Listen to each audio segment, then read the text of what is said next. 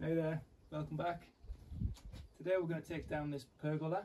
It's just a sunshade basically. It's just river cane. Uh, there's a few sort of small streams and rivers around the place. It just grows wild and we just cut it down, bring it back and, and just sort of stick it together with either a bit of jute twine or zip ties or whatever it happens to be. Uh, this we just buy from the hardware store, this stuff. Um, it's like really thin twigs or even types of cane, really small stuff. Might even be grass to be honest.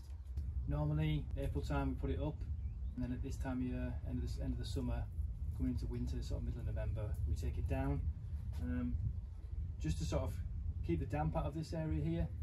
Uh, summertime, obviously, nice, nice shade for the dogs, and these yuccas actually look at well, look at them. They look amazing, and, and the benefit from this shade because it gets it's just too hot, so it's nice. But then obviously now, when the when the wind gets up in the winter and the weather gets bad, it just it just takes an absolute battering. As you can see, it's all falling down. Uh, so we're going to take it down and then the old canes we're either going to use them to help start the fire because they're very very dry um, or to be honest uh, they're really good for the rocket stove so we might have a bit of a cook up on the rocket stove afterwards. So that's what it looks like from the outside. Again it just it just gives a shocking impression when people come to the house and see it all sort of ragged so it's best to just take it all down. Um, we'll just go and get new canes come April. They'll be stronger, they'll be they'll be a better looking colour, they'll just look nicer out the front of the house here. So you can see here how it's it's fallen down. Um, we either use a bit of twine like this, or we just tie it up with a few a few zip ties.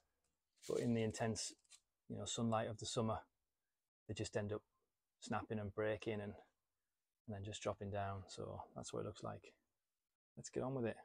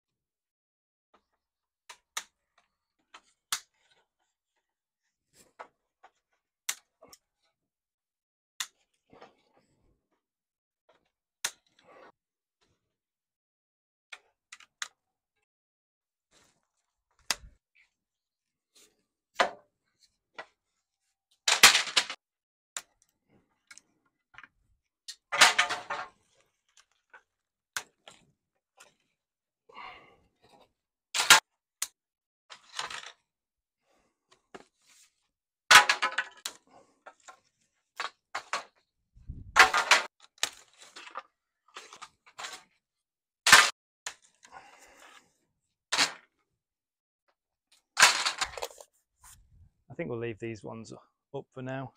They're still pretty solid and uh, they don't really get in the way and they'll, they'll act as a good good indicator for next year to where I need to put the cross cross beams back.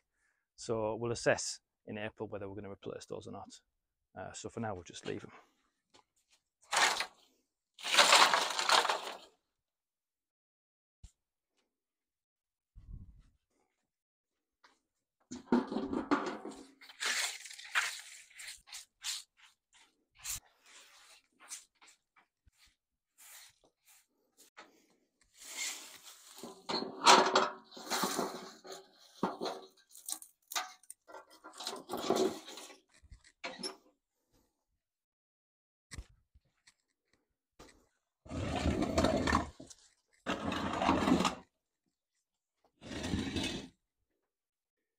Yeah, there we go.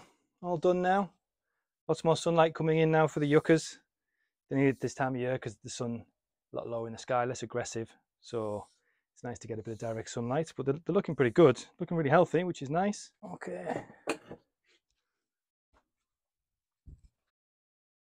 Lovely stuff.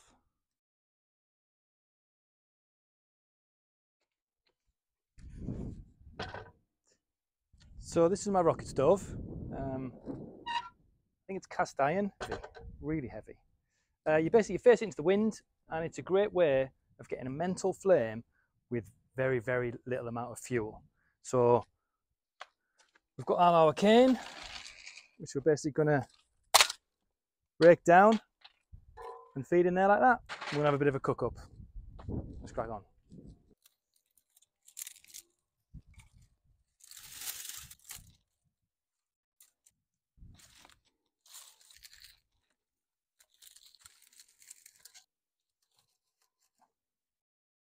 See what I mean? Crazy how much flame you get off just a few bits of twigs.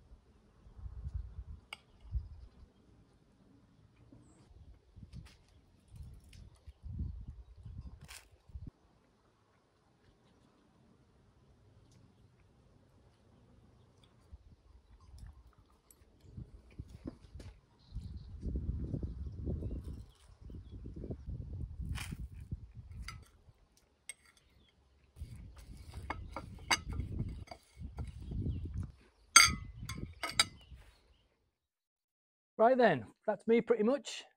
Feeling pretty full just now, so I think I'm going to go and have myself a siesta. But before I go, I'd like to say thanks again for watching. If you enjoyed the rocket stove, then please subscribe to the channel because there'll be plenty more of that type of content um, coming up in future videos. Anyway, for now, that's me. My siesta's calling, so I'm going to shoot off. I'll catch you on the next one.